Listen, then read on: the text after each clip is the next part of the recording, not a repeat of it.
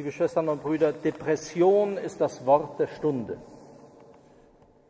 Genau jene Depression wie die Höhle, in die sich Elia verkrochen hat. Man kann überhaupt nicht nachvollziehen, wie man eine solche Leseordnung zusammenstellen kann, indem man einfach das Entscheidende weglässt. Wir haben gestern noch von diesem großen, von dem im 18. Kapitel vom großen Erfolg des Elia gehört. Denn auf dem Karmel, in der Auseinandersetzung mit dem Baalspropheten und durch die Bekehrung, erneute Bekehrung Israels zum wahren Gott, dieser wahre Gott schenkt dann den ersehnten Regen und beendet die Dürre und damit die Hungersnot. Ein großer Erfolg für diesen Propheten, für diesen Streiter Gottes. Und sofort im nächsten Kapitel ist davon die Rede, und das hören wir leider nicht, deshalb kann man diese Begebenheit, die zwar sehr vertraut ist und heute gern gelesen wird, überhaupt nicht verstehen. Elia ist trotz dieses Erfolgs deprimiert bis auf die Knochen, sodass wir einen Satz lesen, den wir in der Heiligen Schrift äußerst selten finden. Ich wünsche mir den Tod. Ich will nicht mehr leben. Und genau so verkriecht er sich in jene Höhle. Ich will nicht mehr. Ich kann nicht mehr. Ich sehe in all dem keinen Sinn mehr. Und deshalb ist die Begebenheit, wenn man sie dann wirklich zur Gänze liest und nicht nur so ein paar Verslein herauspickt, sehr sprechend, wie immer die Heilige Schrift, sehr sprechend für uns heute. Denn auch für uns ist ja Depression das Wort der Stunde.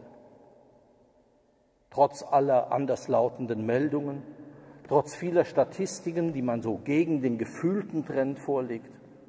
Wer wollte bestreiten, dass die Kirche heute, zumindest hierzulande, in einer tiefen, tiefen Depression steckt?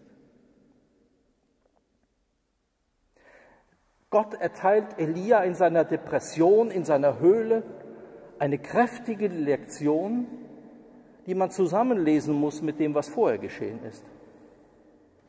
All das, was hier geschieht, dass er vor die Höhle gerufen wird. Wir könnten sagen, er wird aus seiner Depression herausgerufen, aber er geht nicht. Und was sich dann vor der Höhle ereignet, Erdbeben, Sturm, Feuer, das sind alles die Dinge, die man mit einer Gotteserscheinung auch des Baal in Verbindung bringt. Und der Gott Israels hat vorher auf dem Karmel gezeigt, dass er da durchaus mithalten kann, weil er der wahre Gott ist. Und deshalb zeigt er sich in diesen Ereignissen. Aber hier, wenige Verse später, heißt es dann, er war nicht im Sturm, er war nicht im Erdbeben, er war nicht im Feuer. Und dann lesen wir leider nicht gründlich genug. Dann heißt es hier, nach dem Feuer kam ein sanftes, leises Säuseln. Aber es steht hier nicht, der Herr war im Säuseln. Das verwechseln heute viele. Deshalb machen sie aus dem Christentum so eine Säuselreligion. Nein, mit Feuer, Sturm und Erdbeben, klar, damit haben wir nichts zu tun. Mit einer Auseinandersetzung mit anderen Religionen, anderen Göttern und anderen Propheten, nein, damit haben wir nichts zu tun. Aber das Säuseln, das lieben wir. Aber es steht hier nicht. Gott ist nicht im Säuseln. Es steht hier, nach dem Feuer kam ein sanftes, leises Säuseln. Als Elia es hörte, hüllte er sein Gesicht in den Mantel und trat hinaus.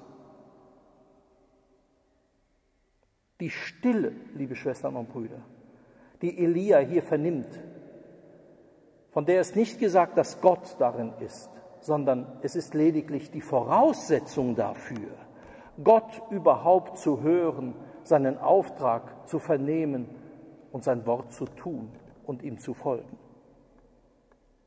Es ist die Voraussetzung dafür. Und damit sind wir wieder sehr aktuell. Die Frage ist, ob wir mit all unseren Verlautbarungen und nachdem sich jetzt sogar der Vatikan bis zur Spitze den Propagandamedien verschrieben hat in einem, in einem Film, der jetzt seit gestern gezeigt wird in den Kinos, fragt man sich, ob wir jemals zu dieser Stille wirklich hinfinden. Deshalb kommen wir aus unserer Höhle, aus unserer Depression auch nicht heraus, weil wir Gott überhaupt nicht hören können, weil wir überhaupt keine Voraussetzung dafür haben weil wir nicht hören können wie Elia. Komm, was machst du hier überhaupt? fragt ihn Gott. Was machst du hier? Wünschst dir den Tod? Ich weiß nicht mehr, was ich soll. Die Leute sind alle abgefallen. Was ist das für ein Ton? Für einen Propheten äußerst unpassend. Wir könnten sagen, ebenso für einen Getauften und für jeden Amtsträger. Höchst unpassend solche Töne. Den Auftrag Gottes zu vernehmen, zu wissen, wozu man da ist, wohin man geschickt ist, dazu bedarf es der Stille als Voraussetzung. All diese Verlautbarungen, all diese Homepages, die uns jeden Tag zumüllen mit mehr oder weniger interessanten Sachen, dienen zu rein gar nichts. Sie verschreien jene Voraussetzung, die es braucht, um die Worte Gottes überhaupt hören zu können. Der Prophet darf seinen ganzen Frust herauskotzen, wenn man das einmal deutlich sagt. Das tut er ja. Wie bin ich doch mit Leidenschaft für den Herrn eingetreten? Und die Israeliten haben deinen Bund verlassen. Und sie haben die Altäre zerstört. All das hochaktuell. Wir brauchen gar nicht viel Fantasie, um das zu aktualisieren. Der Herr antwortet ihm, geh deinen Weg durch die Wüste zurück. Geh dahin, wo du hergekommen bist. Wo diese Depression anfing, wo du dich in die Höhle verkriechen wolltest. Geh dahin und begib dich nach Damaskus. Und dann beginnt etwas Neues. Und zwar das, was ich dir sage.